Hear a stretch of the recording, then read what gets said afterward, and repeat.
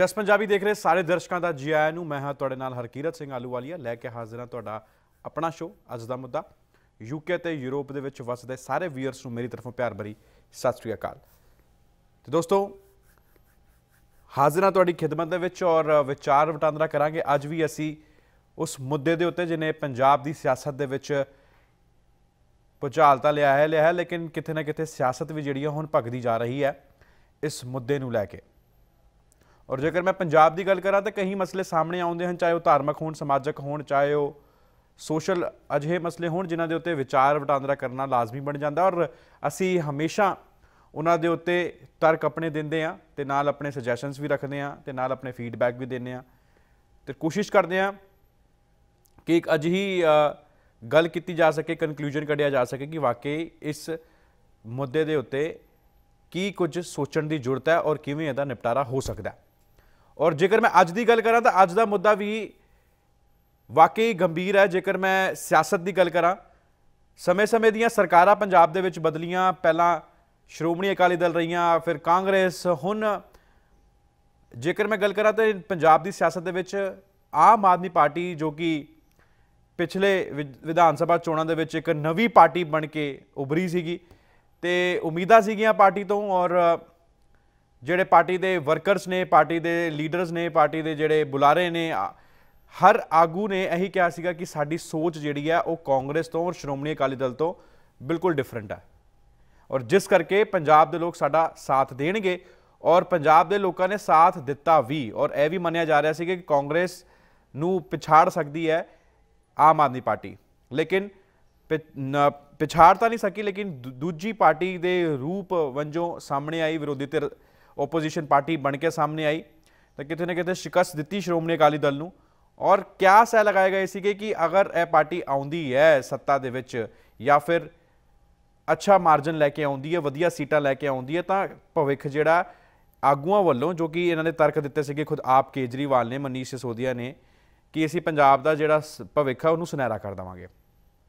ਲੇਕਿਨ ਕਿਤੇ ਨਾ ਕਿਤੇ ਹੁਣ ਆਮ ਆਦਮੀ ਪਾਰਟੀ ਔਰ ਕੰਟਰੋਵਰਸੀ ਉਹਨਾਂ ਦੇ ਨਾਲ ਜਿਹੜਾ ਹੁਣ, ਦਾ ਦੋਨੋਂ ਰਲ ਕੇ ਜਿਹੜੇ ਅਗਰ ਅਸੀਂ ਮੈਂ ਗੱਲ ਕਰ ਲਵਾਂ ਆਮ ਆਦਮੀ ਪਾਰਟੀ ਦੀ ਔਰ ਕੰਟਰੋਵਰਸੀ ਦੀ, ਤੇ ਖਤਮ ਤਾਂ ਕੀ ਸਵੇਰੇ ਤੁਸੀਂ, ਅਸੀਂ ਉੱਠਦੇ ਆ ਤਾਂ ਕੋਈ ਨਾ ਕੋਈ ਨਵੀਂ ਸੁਰਖੀ ਸਾਨੂੰ ਵੇਖਣ ਨੂੰ ਮਿਲਦੀ ਹੈ ਕਿ ਹਾਂ, ਵਾਕਈ ਕੋਈ ਨਾ ਕੋਈ ਕੰਟਰੋਵਰਸੀ ਹੈ। ਔਰ ਮੈਂ ਪਿਛਲੀ ਵਾਰ ਵੀ ਮੁੱਦਾ ਲੈ ਕੇ ਆਇਆ ਸੀਗਾ, ਜਦ ਅਸੀਂ ਗੱਲ ਕੀਤੀ ਸੀਗੀ ਕਿ ਕੀ ਹੁਣ ਆਮ ਆਦਮੀ ਪਾਰਟੀ ਦੇ ਜਿਹੜੇ ਐਮਐਲਏ ਦੀ ਗੱਲ ਕੀਤੀ ਸੀ ਕਿ ਜਿਹੜੇ ਕੈਨੇਡਾ ਤੋਂ ਉਹਨਾਂ ਨੂੰ ਵਾਪਸ ਭੇਜ ਦਿੱਤਾ ਗਿਆ ਸੀਗਾ ਇੰਡੀਆ ਦੇ ਵਿੱਚ, ਤਾਂ ਅਸੀਂ ਮੁੱਦਾ ਲੈ ਕੇ ਆਏ ਸੀਗੇ, ਤਾਂ ਆਪਾਂ ਡਿਸਕਸ਼ਨ ਵੀ ਕੀਤਾ ਸੀਗਾ ਆਮ ਆਦਮੀ ਪਾਰਟੀ ਦੇ ਉੱਤੇ। ਲੇਕਿਨ ਹੁਣ ਜਿਹੜਾ ਸਿਆਸਤ ਦੇ ਵਿੱਚ ਨਵਾਂ ਜਿਹੜਾ ਫ਼ਰਕ ਹੁਣ ਆਇਆ, ਉਹ ਇਹ ਆਇਆ ਕਿ ਸੁਖਪਾਲ ਖਹਿਰਾ ਨੂੰ ਵਿਰੋਧੀ ਧਿਰ ਦੇ, ਆਗੂ ਵਿਰੋਧੀ ਧਿਰ ਦੇ ਪ੍ਰਧਾਨ ਵਜੋਂ ਉਸ ਨੂੰ ਹਟਾ ਦਿੱਤਾ ਗਿਆ ਹੈ। ਆਪੋਜੀਸ਼ਨ ਲੀਡਰ ਸੀਗੇ, ਵਿਰੋਧੀ ਧਿਰ ਦੇ ਆਗੂ ਸੀਗੇ ਤੇ ਉਸ ਉਹਨਾਂ ਨੂੰ ਹੁਣ ਹਟਾ ਕੇ ਚੀਮਾ ਸਾਹਿਬ ਦੇ ਕੋਲ ਚਾਬੀ ਆਮ ਆਦਮੀ ਪਾਰਟੀ ਦੀ ਦੇ ਦਿੱਤੀ ਗਈ ਹੈ। ਔਰ ਇਹੀ ਨਹੀਂ, ਲਗਾਤਾਰ ਸੁਖਪਾਲ ਖਹਿਰਾ, ਕੰਵਰ ਸੰਧੂ, ਅਮਨ ਅਰੋੜਾ ਤੇ ਹੋਰ ਪਾਰਟੀ ਦੇ ਕਈ ਸੀਨੀਅਰ ਲੀਡਰ ਐਚਐਸ ਫੁਲਕਾ ਦੀ ਗੱਲ ਕਰ ਲਈਏ, ਤਾਂ ਇਹ ਮੰਨਿਆ ਜਾ ਰਿਹਾ ਸੀਗਾ ਕਿ ਕੇਜਰੀਵਾਲ ਦੇ ਨਾਲ ਔਰ ਮਨੀਸ਼ ਸਸੋਦੀਆ ਦੇ ਨਾਲ ਉਹਨਾਂ ਦਾ ਆਪਸੀ ਤਾਲਮੇਲ ਕੁਝ ਖਟਪਟ ਜਿਹਾ ਚੱਲ ਰਿਹਾ। ਲੇਕਿਨ ਇਸ ਵਿੱਚ ਵਿਚਾਲੇ ਜਿਹੜੇ ਸੁਪਨੇ ਪੰਜਾਬ ਦੇ ਵਸਨੀਕਾਂ ਨੇ ਆਮ ਆਦਮੀ ਪਾਰਟੀ ਦੇ ਉੱਤੇ ਜਤਾਏ ਸੀਗੇ, ਜਿਹੜੇ ਸੁਪਨੇ ਵਿਦੇਸ਼ਾਂ ਦੇ ਵਿੱਚ ਵਸਦੇ ਲੋਕਾਂ ਨੇ ਵਸਾਏ ਸੀਗੇ, ਜਿਨ੍ਹਾਂ ਨੇ ਸੋਚਿਆ ਸੀਗਾ ਕਿ ਹੁਣ ਆਮ ਆਦਮੀ ਪਾਰਟੀ ਆਏਗੀ, ਸ਼ਾਇਦ ਪੰਜਾਬ ਖੁਸ਼ਹਾਲ ਹੋਏਗਾ, ਸ਼ਾਇਦ ਇਹਦਾ ਭਵਿੱਖ ਜਿਹੜਾ ਉਹ ਸੁਨਹਿਰਾ ਹੋ ਸਕਦਾ ਲੇਕਿਨ ਉਸ ਸੁਪਨੇ ਨੂੰ ਵੀ ਆਮ ਆਦਮੀ ਪਾਰਟੀ ਦੇ ਝਾੜੂ ਨੇ ਤੀਲਾ ਤੀਲਾ ਕਰਤਾ। ਖਬਰ ਇਹ ਕਈ ਦਿਨਾਂ ਤੋਂ ਸਿਆਸੀ ਗਲਿਆਰਨ ਦੇ ਵਿੱਚ ਚੱਲ ਰਹੀ ਸੀ ਕਿ ਸੁਖਪਾਲ ਖਹਿਰਾ ਨੂੰ ਹਟਾਇਆ ਜਾ ਸਕਦਾ ਹੈ। ਤੇ ਮਨੀਸ਼ ਸਿਸੋਦੀਆ ਨੇ ਟਵੀਟ ਕੀਤਾ, ਇਸ ਬਾਰੇ ਜਾਣਕਾਰੀ ਦਿੱਤੀ ਕਿ ਆਮ ਆਦਮੀ ਪਾਰਟੀ ਦਾ ਓਪੋਜੀਸ਼ਨ ਲੀਡਰ ਹੁਣ ਸੁਖਪਾਲ ਸਿੰਘ ਖਹਿਰਾ ਨਹੀਂ ਹੋਣਗੇ। ਜਿਸ ਤੋਂ ਬਾਅਦ ਸਿਆਸੀ ਬਵਾਲ ਜਿਹੜਾ ਉਹਨੇ ਹੁੰਗਾਰਾ ਭਰਿਆ ਪੰਜਾਬ ਦੇ ਵਿੱਚ। ਉਹ ਹੁੰਗਾਰਾ ਇਸ ਤਰੀਕੇ ਨਾਲ ਭਰਿਆ ਕਿ ਖੁਦ ਆਪ ਸੁਖਪਾਲ ਸਿੰਘ ਖਹਿਰਾ ਨੇ ਚੰਡੀਗੜ੍ਹ ਦੇ ਵਿੱਚ ਪ੍ਰੈਸ ਕਾਨਫਰੰਸ ਕੀਤੀ। ਪ੍ਰੈਸ ਕਾਨਫਰੰਸ ਕਰਕੇ ਉਹਨਾਂ ਨੇ ਮੀਡੀਆ ਨੂੰ ਦੱਸਿਆ ਕਿ ਮੇਰੇ ਨਾਲ ਧੱਕਾ ਹੋਇਆ। ਡੈਮੋਕ੍ਰੈਟਿਕ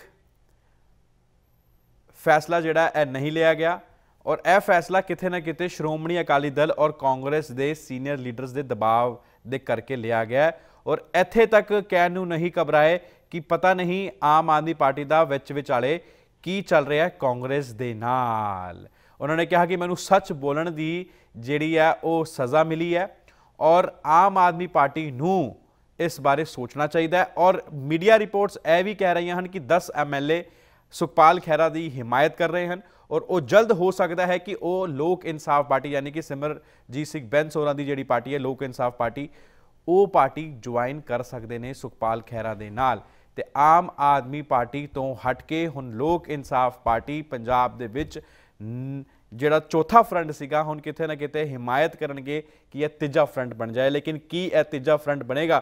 ਕੀ ਮਨੀਸ਼ ਸਿਸੋਦੀਆ ਔਰ ਅਰਵਿੰਦ ਕੇਜਰੀਵਾਲ ਦੀ ਕੁਝ ਹੋਰ ਪੋਲਿਟੀਕਲ ਸਟ੍ਰੈਟਜੀ ਹੈ? ਜਾਂ ਫਿਰ ਵਾਕਈ ਜਿਹੜੀ ਗੱਲ ਕਹੀ ਜਾ ਰਹੀ ਹੈ ਕਿ ਕਾਂਗਰਸ ਦੇ ਨਾਲ ਰਲ ਕੇ ਲੋਕ ਸਭਾ ਚੋਣਾਂ ਵੀ ਲੜੀਆਂ ਜਾ ਸਕਦੀਆਂ ਹਨ, ਤਾਂ ਕਿ ਭਗਵੰਤ ਮਾਨ ਦੀ ਸੀਟ ਨੂੰ ਮਹਿਫੂਜ਼ ਕੀਤਾ ਜਾ ਸਕੇ, ਤਾਂ ਕਿ ਮੁੜ ਤੋਂ ਭਗਵੰਤ ਮਾਨ ਤੇ ਹੋਰ ਜਿਹੜੇ ਮੈਂਬਰ ਆਫ ਪਾਰਲੀਮੈਂਟ ਨੇ, ਉਹ ਆਪਣੀ ਸੀਟ ਤੇ ਕਾਇਮ ਰਹਿਣ ਤਾਂ ਕਿ ਸ਼੍ਰੋਮਣੀ ਅਕਾਲੀ ਦਲ ਨੂੰ ਇਹਦਾ ਨੁਕਸਾਨ ਪਹੁੰਚੇ। ਔਰ ਔਰ ਕਿਆਸ ਇਹ ਵੀ ਲਗਾਏ ਜਾ ਰਹੇ ਨੇ, ਮੀਡੀਆ ਰਿਪੋਰਟਸ ਇਹ ਵੀ ਦੱਸ ਰਹੀਆਂ ਹਨ, ਤਰਕ ਇਹ ਵੀ ਸਾਹਮਣੇ ਆ ਰਹੇ ਹਨ ਕਿ ਅਗਰ ਕਾਂਗਰਸ ਇੱਥੇ ਪੰਜਾਬ, ਅਗਰ ਆਮ ਆਦਮੀ ਪਾਰਟੀ ਪੰਜਾਬ ਦੀ ਕਾਂਗਰਸ ਦੇ ਵਿੱਚ ਮਦਦ ਕਰਦੀ ਹੈ ਤਾਂ ਫਿਰ ਕਾਂਗਰਸ ਆਮ ਆਦਮੀ ਪਾਰਟੀ ਦੀ ਦਿੱਲੀ ਦੇ ਵਿੱਚ ਮਦਦ ਕਰੇਗੀ। ਲੇਕਿਨ ਸੁਖਪਾਲ ਖਹਿਰਾ ਨੇ ਆਪਣਾ ਦਰਦ ਮੀਡੀਆ ਦੇ ਸਾਹਮਣੇ ਰੱਖਿਆ। ਕਿਹਾ ਕਿ ਇਹ ਸੁਣ ਲਵੋ ਮੇਰੀ ਕਹਾਣੀ, ਮੇਰੀ ਜ਼ੁਬਾਨੀ। ਕੀ ਕਹਿ ਰਹੇ ਹਨ ਮੀਡੀਆ ਨੂੰ? ਉਹ ਸੁਣਾ ਦਿੰਨੇ ਆ ਇੱਕ ਵਾਰੀ। ਔਰ ਬਲਕਿ ਮੈਂ ਗੁਰੇਜ਼ ਨਹੀਂ ਕਰ ਸਕਦਾ ਕਿ ਇਹ ਸਾਰੇ ਜਿਹੜੇ ਸਾਡੇ ਐਮਐਲਏਜ਼ ਨੇ, ਸ਼ਾਇਦ ਅੱਜ ਇਸ ਪੋਲੀਟੀਕਲ ਅੱਜ ਦੀ ਮਾਰਾਮਾਰੀ ਦੇ ਯੁੱਗ ਵਿੱਚ ਐਦਾਂ ਦੇ ਬਿਹਤਰੀਨ ਐਮਐਲਏ ਹੋਣਗੇ, ਜਿਹੜੇ ਕਿਸੇ ਦੇ ਨਾਲ ਖੜ ਸਕਦੇ ਨੇ। ਇਮਤਿਹਾਨ ਦੀ ਘੜੀ ਆ ਇਹ। ਵੱਡੇ ਵੱਡੇ ਲੀਡਰ ਵੱਡੇ ਵੱਡੇ ਪਾਰਟੀਆਂ ਦੇ ਐਮਐਲਏ ਮੈਂ ਭੱਜਦੇ ਦੇਖੇ ਨੇ। ਮੇਰਾ ਸਲੂਟ ਹੈ ਇਹਨਾਂ ਨੂੰ। ਔਰ ਸਲਾਮ ਆ। ਔਰ ਜੋ ਮੈਨੂੰ ਇਹ ਕਹਿਣਗੇ, ਮੈਂ ਅੱਜ ਇਹਨਾਂ ਦੀ ਆਵਾਜ਼ ਬਣ ਕੇ ਤੁਹਾਡੇ ਨਾਲ ਇੱਥੇ ਤੁਹਾਡੇ ਦਰਮਿਆਨ ਗੱਲ ਕਰੂੰਗਾ। ਆਈ ਹੋਪ ਕਿ ਜਦੋਂ ਤੁਸੀਂ ਸਾਨੂੰ ਗੱਲ ਤੋਂ ਬਾਅਦ ਤੁਸੀਂ ਸਾਡੀ ਗੱਲ ਕਰੋਗੇ, ਮੈਂ ਤੁਹਾਨੂੰ ਸਭ ਨੂੰ ਇਹ ਬੇਨਤੀ ਕਰਨੀ ਹੈ ਕਿ let it go positively today ਆ ਪਿੱਛੇ ਇੱਕ ਆਡੀਓ ਰਿਲੀਜ਼ ਹੋਇਆ। ਇੱਕ ਛੋਟਾ ਬੱਚਾ ਰੱਖਿਆ ਹੋਇਆ ਸਾਡੀ ਪਾਰਟੀ ਦੇ ਵਿੱਚ। ਉਸ ਦਾ ਆਡੀਓ ਰਿਲੀਜ਼ ਹੋਇਆ। ਸੋਸ਼ਲ ਮੀਡੀਆ ਤੇ ਵਾਇਰਲ ਹੁੰਦਾ ਵਾ। ਉਹਦੇ ਵਿੱਚ ਉਹ ਸਾਜ਼ਿਸ਼ ਨਜ਼ਰ ਆਉਂਦੀ ਕਿ ਸੁਖਪਾਲ ਸਿੰਘ ਖਹਿਰਾ ਦਾ ਕੱਦ ਘਟਾਉਣਾ ਵਾ, ਕੱਟਣਾ ਇਹਨੂੰ। ਇਸ ਨੂੰ ਕੱਟਣਾ, ਇਸ ਦਾ ਕੱਦ। ਔਰ ਨਾਲ ਐਮਐਲਏਜ਼ ਨੂੰ ਅਬਿਊਜ਼ ਕੀਤਾ ਗਿਆ। That language I cannot use here because women folk are sitting here and there are women journalists in this gathering. Abusive language against the MLAs no action. ਆ ਹੁਣ 2020 ਦਾ ਵਿਵਾਦ ਉੱਠਿਆ। ਮੈਂ ਤਾਂ ਸਿਰਫ ਪੰਜਾਬ ਦਾ ਪੱਖ ਰੱਖਿਆ ਸੀ ਕਿ ਪੰਜਾਬ ਦੇ ਨਾਲ ਕਿਹੜਾ ਕਿਹੜਾ ਵਿਤਕਰਾ ਹੋਇਆ ਵਾ। ਸਾਡਾ ਪੰਜਾਬੀ ਸੂਬਾ ਬਣਨ ਤੋਂ ਬਾਅਦ ਲੰਗੜਾ ਪੰਜਾਬ ਗੁਰੂ ਗ੍ਰੰਥ ਸਾਹਿਬ ਦੀ ਬੇਅਦਬੀ ਹੈ। ਸ਼ਰਮ ਆਉਣੀ ਚਾਹੀਦੀ ਹੈ ਅਕਾਲੀਆਂ ਨੂੰ, ਜਿਹੜੇ ਅੱਜ ਬਰਗਾੜੀ ਵਾਲਿਆਂ ਨੂੰ ਕਾਂਗਰਸ ਏਜੰਟ ਕਹਿੰਦੇ ਨੇ, ਉਹਨਾਂ ਦੇ ਸ਼ਿਕੰਜੇ ਕੱਸਦੇ ਨੇ। ਉਹ ਲੋਕ ਨੇ, ਉਹ ਬੈਠੇ ਜਿਹੜੇ ਗੁਰੂ ਗ੍ਰੰਥ ਸਾਹਿਬ ਦੀ ਲੜਾਈ ਲੜ ਰਹੇ ਨੇ ਇਨਸਾਫ ਲੈਣ ਵਾਸਤੇ। ਦੋ ਸਿੱਖ ਨੌਜਵਾਨ ਮਾਰੇ ਗਏ, ਅੱਜ ਅੱਜ ਤੱਕ ਉਹਨਾਂ ਦੇ ਖਿਲਾਫ ਐਫ ਆਈ ਆਰ ਚ ਨਾਮਜ਼ਦ ਨਹੀਂ ਕੀਤੇ ਗਏ ਬੰਦੇ। ਇਹ ਵੀ ਚੁੱਭਦਾ ਸੀਗਾ। ਇਹ ਸਾਰੀਆਂ ਗੱਲਾਂ ਮੈਂ ਜਿਸ ਦ੍ਰਿੜਤਾ ਨਾਲ ਪਹਿਲਾਂ ਲੜ ਰਿਹਾ ਸੀਗਾ, ਮੇਰੀ ਸਪੀਡ ਹੁਣ ਤੇਜ਼ ਤਾਂ ਹੋ ਸਕਦੀ ਆ ਘਟੇਗੀ ਨਹੀਂ। ਨਾ ਮੇਰਾ ਕੋ ਮਨੋਬਲ ਡਿੱਗਿਆ ਵਾ। 2 ਤਾਰੀਖ ਨੂੰ ਵੀਰਵਾਰ ਵਾਲੇ ਦਿਨ 2 ਅਗਸਤ ਨੂੰ ਬਠਿੰਡੇ ਪਹੁੰਚਣ ਦੀ ਕਿਰਪਾਲਤਾ ਕਰਨੀ ਤਾਂ ਕਿ ਇਹ ਸਾਰੀ ਗੱਲ ਨੂੰ ਆਪਾਂ ਰੀਰੇਲ ਕਰ ਸਕੀਏ ਰੀਆਰਗੇਨਾਈਜ਼ ਕਰ ਸਕੀਏ। ਲੋਕਾਂ ਦਾ ਬੜਾ ਪ੍ਰਭਾਵ ਹੈ ਅੱਜ ਵੀ। ਇਹ ਜਿਹੜੇ ਬੰਦਿਆਂ ਦੇ ਨਾਮ ਲਏ ਨੇ, ਜਿਹੜੇ ਤਾਕਤਵਰ ਪਰਿਵਾਰ ਨੇ ਔਰ ਨਾਲ ਡੀਜੀਪੀ ਵਰਗੇ ਪੁਲਿਸ ਆਫਸਰਸ ਜਿਨ੍ਹਾਂ ਕੋ ਪੂਰੀ ਮਸ਼ੀਨਰੀ ਆ, ਜਿਨ੍ਹਾਂ ਕੋ ਪੂਰਾ ਇੰਟੈਲੀਜੈਂਸ ਦਾ ਇੱਕ ਪੂਰਾ ਵੱਡਾ ਡਿਪਾਰਟਮੈਂਟ ਆ। ਉਹ ਅਰਸੇ ਤੋਂ ਮੇਰੇ ਖਿਲਾਫ ਸਾਜ਼ਿਸ਼ਾਂ ਘੜ ਰਹੇ ਸੀਗੇ। ਅਰਸੇ ਤੋਂ। 10 ਸਾਲ ਦੇ ਅਕਾਲੀ ਦਲ ਦੇ ਰਾਜ ਵਿੱਚ 6 ਮੁਕੱਦਮੇ ਦਰਜ ਹੋਏ। ਕੁਦਰਤ ਵਾਹਿਗੁਰੂ ਦੀ ਕਿਰਪਾ ਨਾਲ 6 ਦੇ 6 ਜਾਂ ਹਾਈ ਕੋਰਟ ਨੇ ਕੁਆਸ਼ ਕਰਤੇ ਜਾਂ ਝੂਠੇ ਪਾਏ ਗਏ। ਤੇ ਸੁਖਪਾਲ ਖੈਰਾ ਆਪਣੀ ਸਫ਼ਾਈ ਦਿੰਦੇ ਹੋਏ, ਆਪਣੇ ਤਰਕ ਰੱਖਦੇ ਹੋਏ, ਆਪਣੀ ਪ੍ਰਤੀਕਿਰਿਆ ਦਿੰਦੇ ਹੋਏ ਚੰਡੀਗੜ੍ਹ ਪ੍ਰੈਸ ਕਲੱਬ ਦੇ ਵਿੱਚ ਨਜ਼ਰ ਆਏ। ਕਹਿ ਰਹੇ ਨੇ ਕਿ ਮੇਰੇ ਨਾਲ ਧੱਕਾ ਹੋ ਰਿਹਾ ਔਰ ਮੈਂ ਸੱਚ ਬੋਲ ਰਿਹਾ ਔਰ ਮੈਂ ਸੱਚ ਬੋਲਣ ਤੋਂ ਨਹੀਂ ਹਟਾਂਗਾ। ਲੇਕਿਨ ਹੁਣ ਪੱਤਰਕਾਰਾਂ ਦੇ ਗਲਿਆਰੇ ਦੇ ਵਿੱਚ ਕੀ ਗੱਲ ਚੱਲ ਰਹੀ ਹੈ? ਮੀਡੀਆ ਹਾਊਸਸ ਦੇ ਵਿੱਚ ਕੀ ਗੱਲ ਚੱਲ ਰਹੀ ਹੈ? ਪ੍ਰਿੰਟ ਮੀਡੀਆ ਕੀ ਕਹਿ ਰਿਹਾ ਹੈ? ਇਲੈਕਟ੍ਰੋਨਿਕ ਮੀਡੀਆ ਕੀ ਕਹਿ ਰਿਹਾ ਹੈ?